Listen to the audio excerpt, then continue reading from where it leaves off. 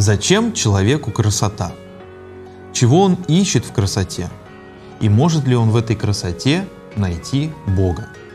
Что за такое новое направление в богословии теоэстетика? Поговорим об этом в нашей передаче «Просто о вере» на телеканале «Самара ГИС» в понедельник в половину восьмого вечера.